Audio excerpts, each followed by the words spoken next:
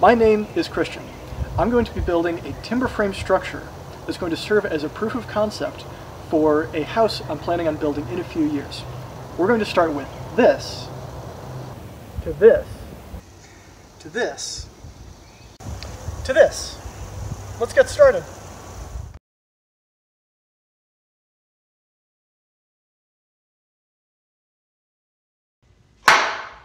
Today, we're going to be making this joint right here, or at least one half of this joint. This is the bridle joint that goes at the top of the roof. This is what holds the two 4x4 rafters together. Eventually there will be a peg driven through here, but we'll leave that for another session. I'm also letting these pieces dry a little bit. The wood I'm working with today is a little bit wetter than I prefer to work with, but it's what I've got at the moment, so it's what we're going to use. Um, this piece will be, so the uh, tenon or tongue, whichever, however you want to call it, I believe it's the tongue out of the, the tongue will be cut out of the longer rafter. And this, what I'm working on right here, is the shorter rafter. This is about 11 to 12 foot long. Um, I'll be cutting it a little bit shorter when I've actually got this cut in and it's dried a little bit I'm just ready to work with it. The nice part about leaving it long is if I mess this up, I've got at least one other shot uh, in this piece of wood. Speaking of getting things wrong, this piece is a test piece. That's why these pieces weren't cut off. The order of operations um, is something you have to think about a lot, and if I've got extra wood, like this actually used to be a much longer um, piece here. I cut a few test joints in it before trimming it off to what I is about, is about going to be the final length for, for at least for now. Um, this angle comes from CAD. I've made this piece right here. This is just drawn on. It's definitely not the most accurate thing in the world, but we're also starting with the least accurate joint. Um, most of these, as you could probably see by being able to move it and not really have it um, drag at all, is that this joint the accuracy matters the least out of all the joints I'm going to be doing in this project. So this is what I'm starting with. This is where I get my tools uh, sharpened up, get figure out where I need to straighten this off, I need to change set, anything like that. This is where I'm going to do it. I've actually already cut the other 10 of these. This is the last one. Um, so we'll go through it together.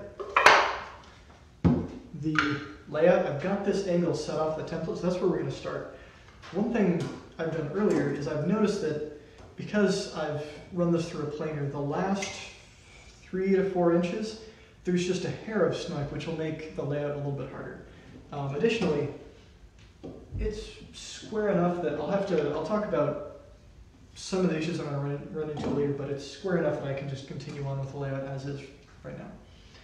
So I'm going to go past the snipe, line everything up, and strike a line.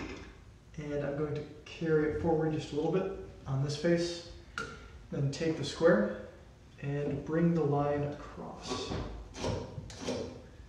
Coming across this way. So this appears to be pretty close to parallel, uh, one side versus the other here. If this weren't parallel, A, there'd be something wrong with my setup and I need to take a look at that. And B, I'd have to, I'd probably, do, for this sort of joint, I would just, just take the average. This is also, most of the work I'm going to be doing in this project is going to be center line layout, which is pretty straightforward. I'll be doing some of that here, but because it's just a rafter, I'm taking some shortcuts. Um, so now that that's in place, I'm going to take the template, take the side where I've transferred the lines down, and figure out where the next angle is going to go.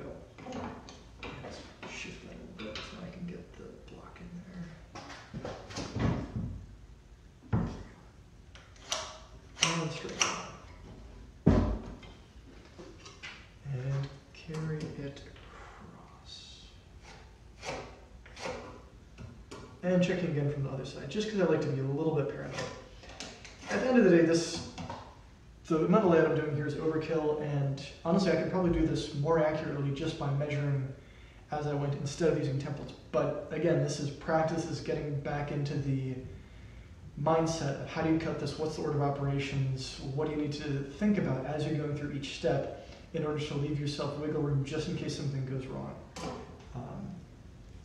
Um, so I'm going to mark this at two inches in from this side in a couple places. Because I want to find a reasonably accurate center line going down the middle of this piece.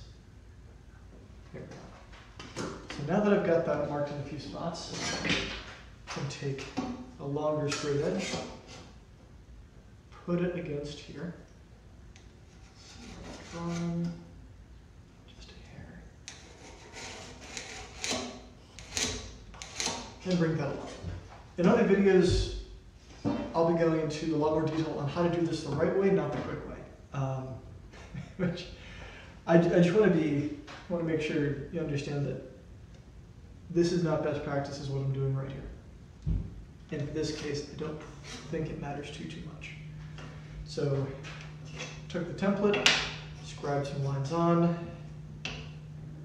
make sure I get that line in there. See it later. Okay. So, I am going to flip around, do the layout on the other side. And then we're actually going to cut this whole front piece off, because if we cut the front piece off now, we don't have to do two secondary cuts later. Um, also makes me think that potentially the next structure I make when I get to it, I'll make these at 90 degrees instead of, I think this is 22 and a half. Well, it's a, it's a 45 degrees, but um, that line is at 22 and a half because it's a pain. Being able to just bore through, pop it out, and then clean it up, much easier. But it's good practice for everything else we're doing in this project. So I'm carrying the lines over,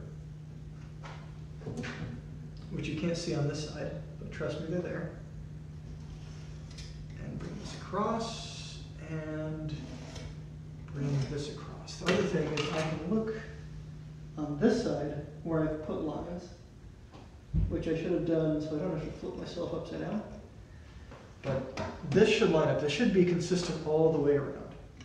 So if I now put this here, put this line in here, it lines up with what I drew on the other side. Pretty well too. Okay, doing the same thing one more time. Making center line.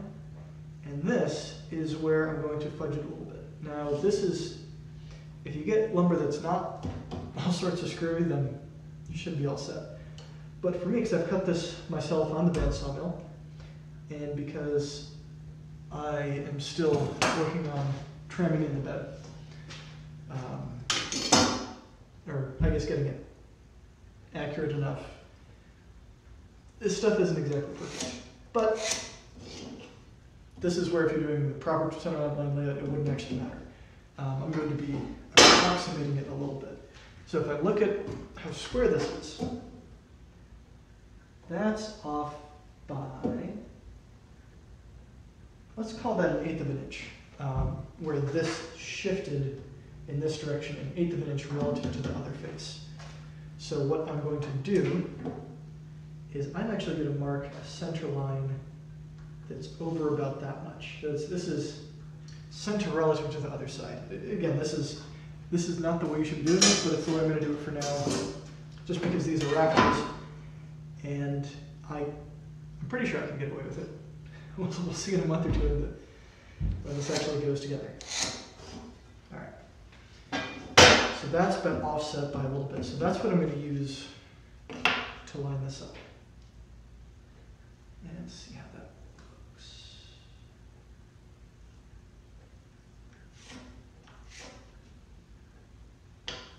Okay. We'll see if I end up going, I may end up coming back to that later in the video and adjusting it, but we'll see what it looks like once we get this end cut, because that, that part's not gonna matter. So, mark that. And, see, I'm gonna in this direction here. Got room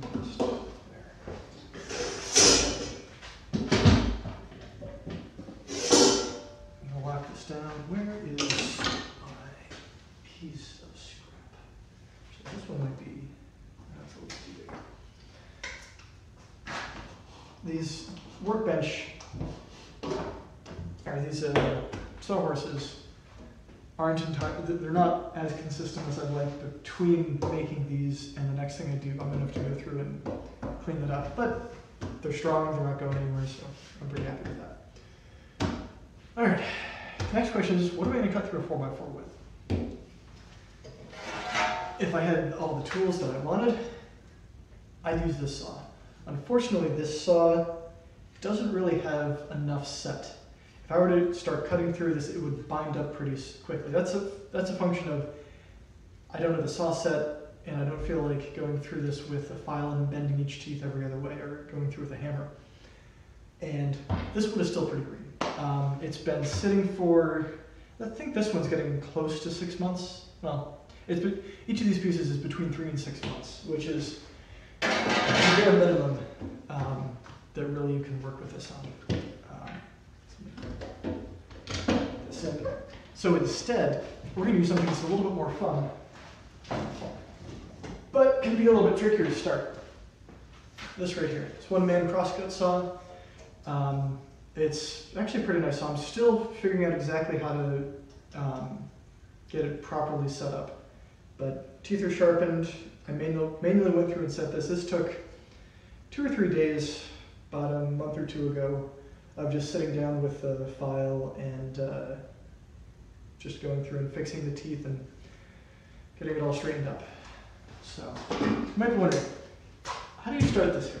If I, if I just start going at this, it's just gonna go all over the place. What we're gonna do is a slightly exaggerated version of what I've seen several other people do, and that's cut a, well, start a curve with chisel. And this gives a place for the saw to start.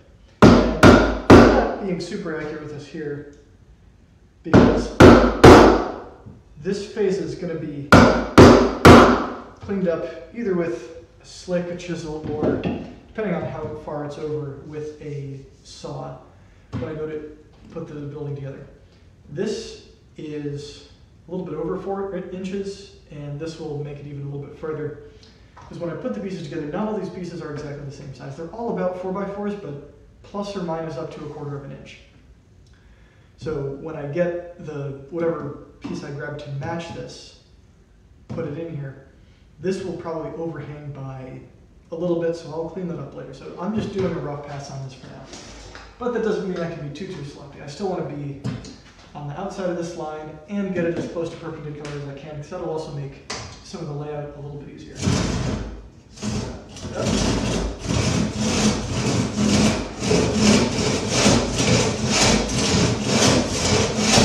can hear the, that sticking right there, that's part of one of the things I'm working on is this saw is missing half of a raker and I'm trying to adjust the other one so it still takes a little bit off but doesn't bite into quite so much.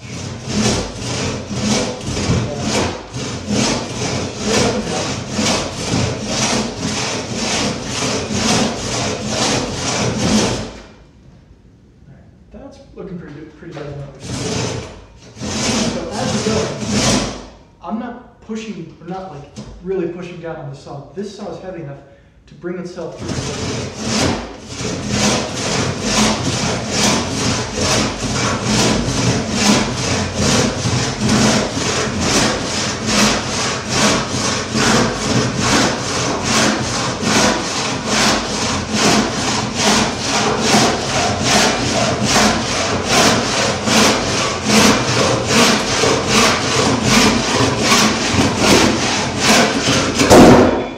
That was exciting. Alright, put this away. And take a look. It's looking pretty good.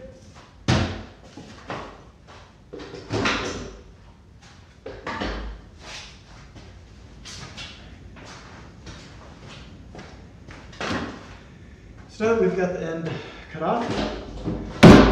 some of the lines down the front and then start sawing the cheeks on this bridle joint. So quickly running through that, I'm going to follow these lines down. Same from the bottom. And that should, lines up better than I thought. Bring that down. Bring this down. That's actually reasonably close. Kind of happy with that. The guesstimation I did on the other side looks like it paid off, but we'll see when this joint is done. So now that we have that marked, nice, thin, somewhat underset, but should work well enough, rips off. I'll come over here and start just marking my way down. And I am trying to keep the plate of the saw as up as straight up and down as I can, and also guiding it with this finger here along where it needs to go.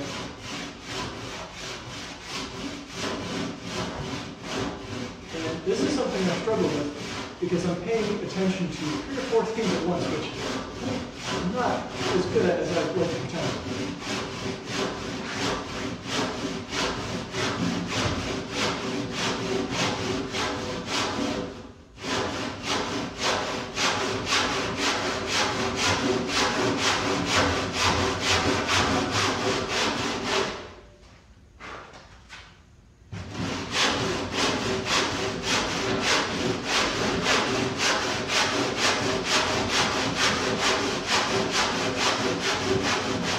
So you'll notice I'm only cutting down from this line to the bottom here. I'm not going much further than that because I'm going to flip it and cut it again.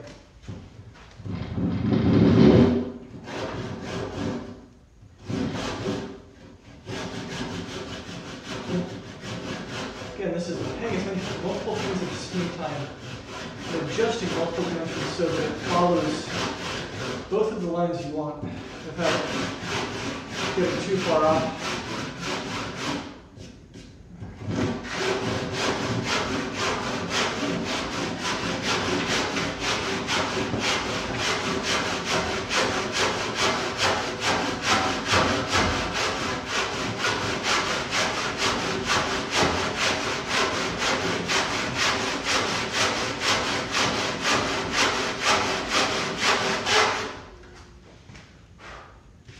Okay, I'm reasonably happy with that. I'm gonna go down just a little further to get my uh, which direction the plate wants to.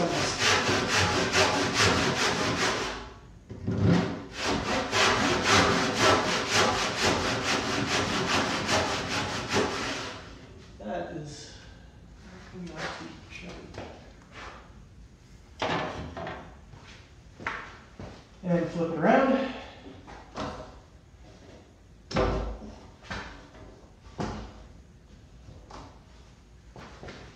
And come to this side.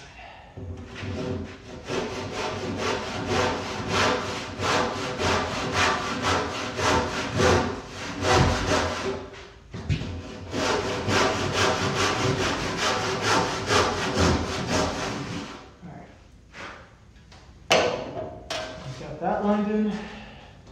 To the first side. And finish this up.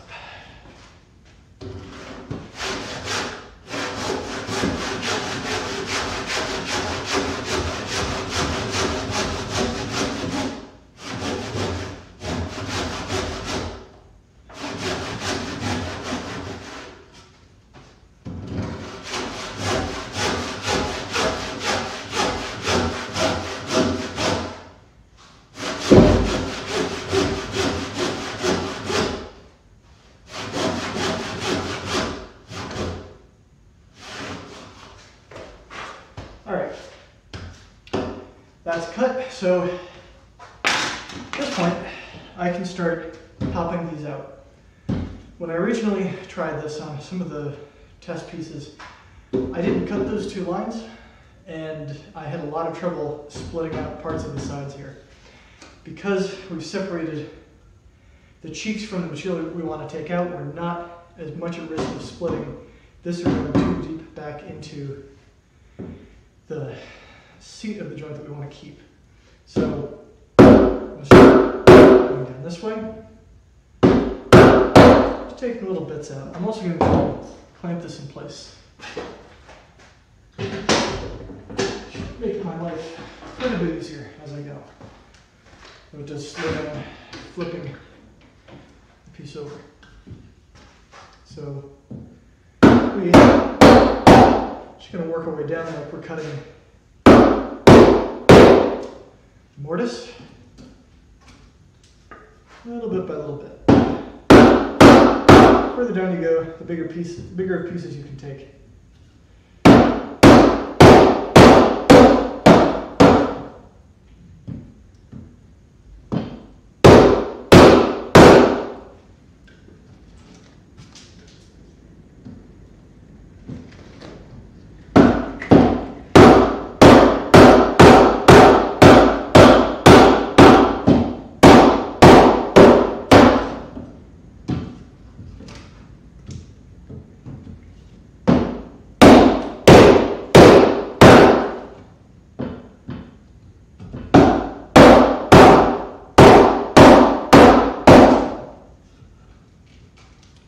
Get down half an inch to an inch, sticking in there.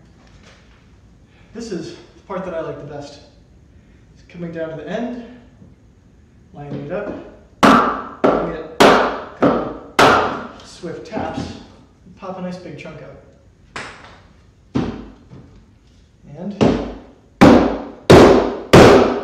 just keep working your way down.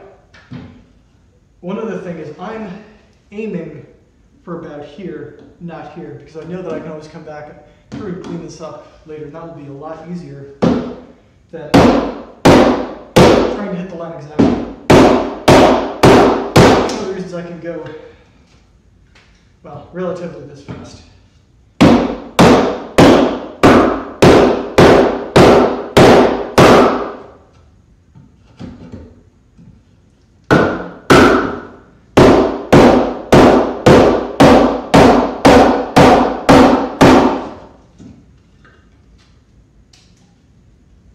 Let's pop a little bit more up. I can already tell you that I'm going to be doing a good amount of paring on this piece to get it fitting because the template is slightly wider by just a hair than this chisel. If the chisel is sticking, which it is, that's letting me know that I cut these lines a little bit close together, uh, which is better than alternative where you've cut into your cheeks, but just means it's going to stick a little bit as you go through the process.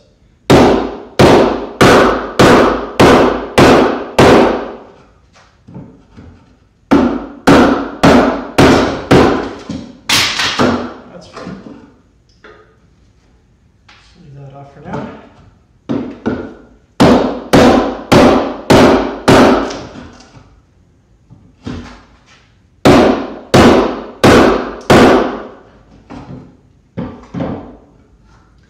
And I'm only going to go a certain depth in, and then because if I go too far, I'll actually end up splitting through the bottom and messing up the underside of the joint.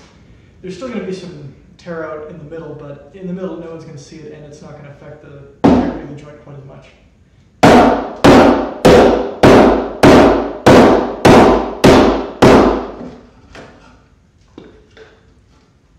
Pop a little bit more out.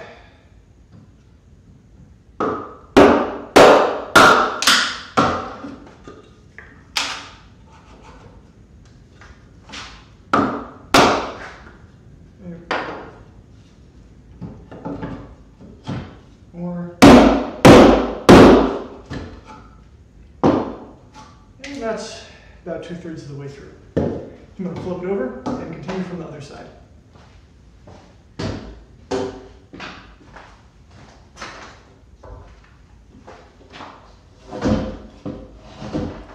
I'm also going to move it forward. The closer you are to hitting on top of your sawhorse, the less energy is wasted trying to bend the beam.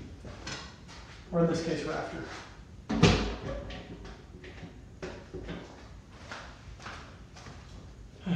All right, almost done. So, especially on this side, I'm starting off a little bit slow because if I hit too hard, I'm going to split into this piece, which I really want to avoid.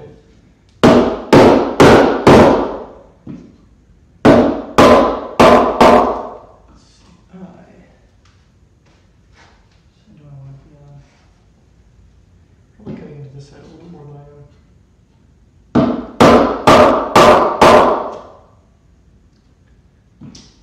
But again, this is why do the pieces that need the least amount of accuracy. Are furthest away from anyone I ever actually closely looking at.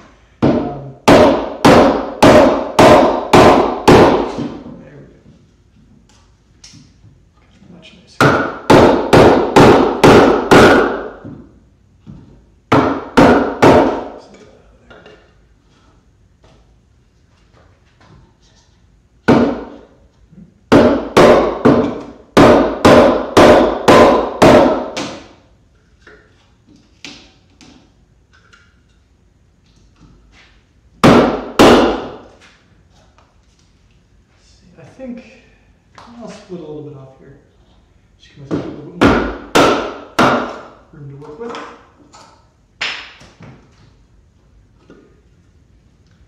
I'm going to take a little detour to correct some mistakes. Just taking some of this off for myself. Room for the chisel here.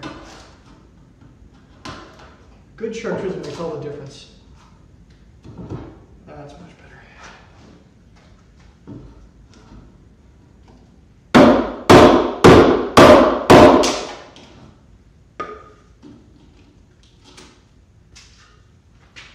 I'm almost through, so at some point I'm just going to try the chisel straight through, pop out the piece. So now it's a little bit chattered up in here, but overall it's not that bad. I'm to work my way through from this side, flip it over, do the same, then clean up the cheeks.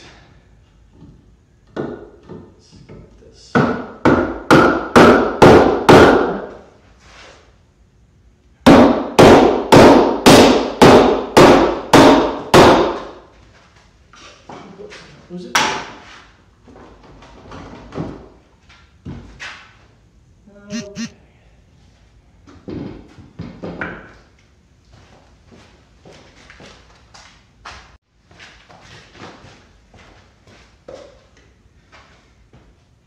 That's looking all right. I'm going to take just a little bit more here.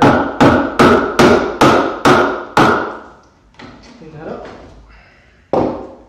Start paring down the sides as well.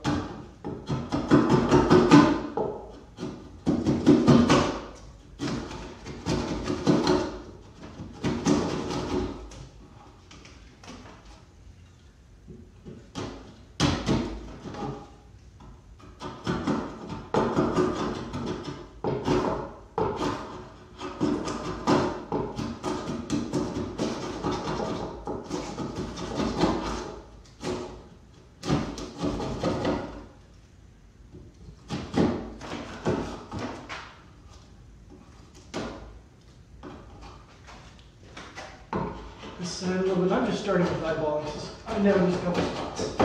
We're already off. Now, take the template, fit that along. That part's looking good. This is a little stiff. So I'll take this.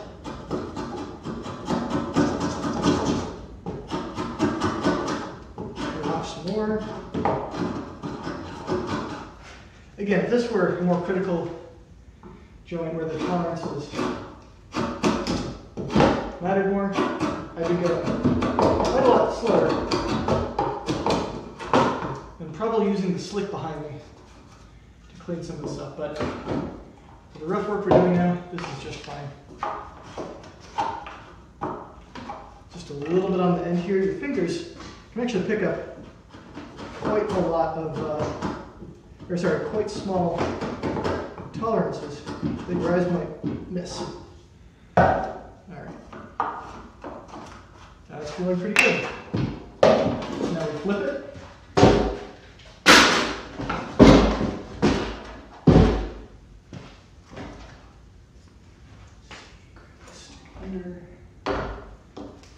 And just do just a hair bit more cleanup on this.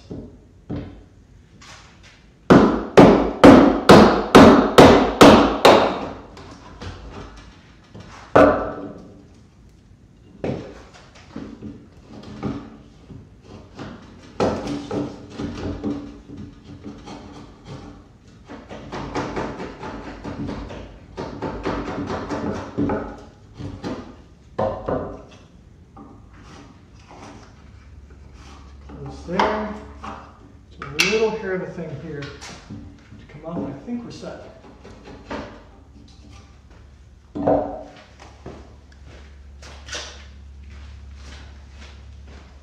And if everything came out, I should be able to take this, which is not exactly the right size, but it's close enough. Put it in. Couple taps. Fits like a glove. So that is the top of our structure. I still need to make 11 of these. This is the last one of these I'll be making. Um, probably takes more time to clean that up just a little bit more before the structure goes together, but you get the idea. So hopefully you stay with me through the rest of the project and hope you enjoyed. See you in the next one.